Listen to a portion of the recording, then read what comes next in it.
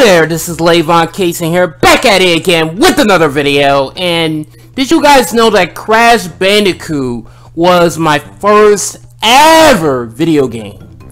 And so today, I'm to be playing a little bit of Crash Bandicoot, because why the heck not?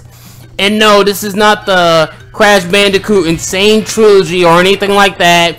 This right here is the original PS1 Crash Bandicoot. And as you just saw, I just clicked start, and now I'm going to start into the first level, which is N. Sanity Beach. Loading, loading, loading, loading, loading. Alright, now everything is pretty much loaded. And as you can see, the graphics look very, very dated. But at the time, back in 1996, this was a big deal, a huge deal. Like, this was a huge leap from Super Nintendo and Sega Genesis games. Nothing more, nothing less. So, I played Crash Bandicoot on the um, Slim PS1. That is when I, um, that's the system that I played uh, Crash Bandicoot on, was the Slim PS1 at first. Then I played it on the PS2, and now I am playing the game on the PS3 Slim, which is uh, jailbroken. So, let's get the checkpoint. I mean, the gameplay is very simple. You jump, you spin.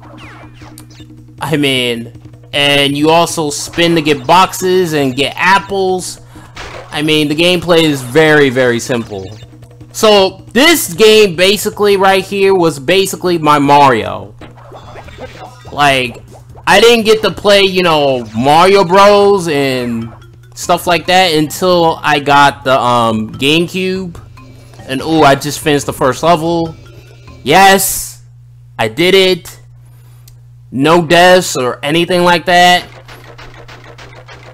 My first Mario game was um Super Mario Sunshine. Like that was my first Mario game, and I didn't even get to play that until I got in the GameCube. So this right here, like I said, was pretty much my Mario. And when you really think about it, like Crash has had a lot more better games than say Sonic the Hedgehog. Like if you were to be real, like Crash has had a lot more success as far as you know good game releases go than Sonic the Hedgehog. Like I am just being real with you guys. Alright, so this uh when you hit um Uka Uka three times from boxes, you get like brief invisibility. So the Uka Uka that I have now is pretty much, you know, on in its second form. But once I get this Uka Uka, you know, then I go into, you know, brief invincibility, which means that I can hit any enemy and it won't, you know, hurt me or anything like that. So let me get all this stuff. Let me get all these boxes. And, ooh, and I got some extra lives. There we go. Woo! I thought I was to get hit. I honestly thought I was gonna get hit. So the first Crash Bandicoot, you know, had you using the um, D-pad. so this was before um, Super Mario 64, by the way, if anyone's wondering. And the D-pad controls are okay. Like, they are okay. But that was the only thing that they pretty much had at that time. It wasn't until after Mario 64 to where Crash 2, I think, had supported the um, DualShock controller. Alright, let me go here. This is my save point. Like, it wasn't until then that they started supporting the uh, DualShock. Alright, let me just click here, save game. Let me just save the game. Now let's go back to level Jungle Rollers. Man, this game is fun, I'm not gonna lie. Like, it definitely does get harder. Like, here's one of the hard levels, which is, um, the road to nowhere. Like, that is a very, very hard level. Like, no lie, it is a very, very hard level. Alright, so I passed the second level. So here's what um Crash taught me about video games in, in um real life. Sorry about the burp, guys. Is that um in video games that you get a couple lives and yeah, and in real life you only get one life and once you you know die from a certain circumstance whether you get shot or get a heart attack or something you know that's pretty much it you pretty much go away forever whereas with video games you know you get continues and stuff like that you get passwords and all that other stuff so that was one thing that um this game has taught me about real life and video games is that um you only live once in real life. But in video games, you can have pretty much a lot of lives, or heck, even infinite lives once you know, you know, cheats and stuff like that. Alright, so this is pretty much the third level. Alright, let me jump on, not jump, but let me spin on this. There we go. So what was your guys' first video game? I would like to know in the comment section down below in this video. What was your guys' first video game?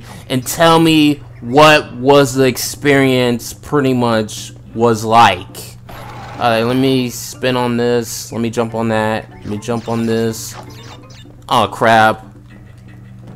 Let me jump on this right here. Jump. Jump. And get that checkpoint! Alright, let's spin on this thing. Let me spin on that. Let me just wait, then jump. You know, honestly, I think this game is still fun to this day. Like, I honestly think that. Yeah, the graphics might not be as good for today's standards, but the gameplay is still pretty much there.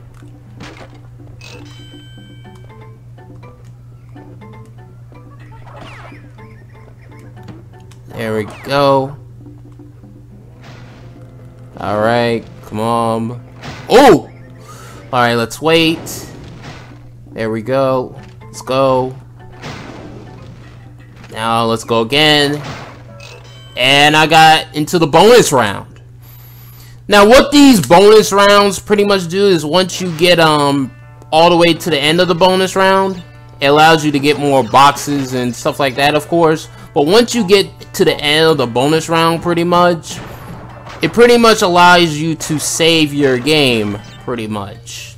So, as you can see here, I am pretty much, you know, I pretty much got save point. Alright, so let's, uh, go. And now, um, pretty much show password. And you can also pretty much save the game. So what I'm going to do here is pretty much save the game again. Let's override it. And that's what pretty much happens in bonus rounds. It pretty much allows you to save your game. Or heck, even give you a password. And now I am back to the main level. And now I'm pretty much finished with the level. Pretty much am finished. Oh, and it lets you know how many boxes you miss. I, I missed nine boxes on that level. So now I'm going to go back to the map and go to the next level. And I think this will pretty much be the last level that I play for this video.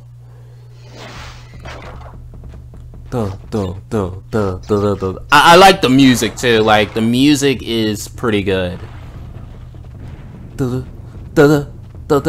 Don't this don't this remind you guys of Indiana Jones? Like this definitely does remind me of like Indiana Jones. Like it really does. Let's hope I can focus. Let's hope I can get past this level. Oh man, that boulder is getting close to me. Like, it is getting way close, way close. Ah, crap! Crap! It got me. Crap. but hey, I got 17 lives. I got 17 lives left, so I got some time. I got some time. I'm gonna get past this level. Where it takes me 8 tries, 10 tries. I'm gonna get past this level.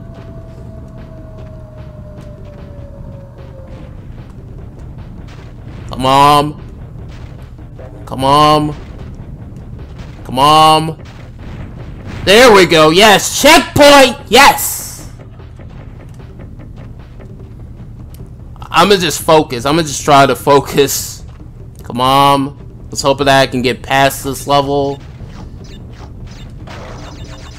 Let's hope I can get past this level. And, ooh, I got another life. Yes. I got another life.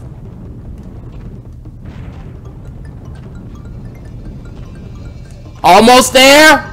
And yes! I passed the level! I passed the boulders level! Yes! Yes! Yes! And I may I missed seven boxes, but oh well, I at least passed the level. Yes! Alright, so that's pretty much all the levels that I pretty much will be playing through for this video. And like I said again, like I'm gonna be saying again, that's what I meant to say. Um, Crash Bandicoot was pretty much my first video game, and yeah. So, what was your guys' first ever video game? And what lessons did you get taught as you were playing, you know, that first video game? It could be real life or anything. Let me know in the comment section below of this video. Hope you guys have a good day and peace! So now that you have made it to the end of the video, I want you guys to hit that like button, hit that subscribe button, hit that notification bell, and when you hit that notification bell, you gotta hit all notifications. So that way you can be notified for future Lavon Cason tech videos, future Lavon Cason gaming videos, future Lavon Cason live streams, and also other videos that I do, such as, you know, reaction videos and, and things of that nature. Bye.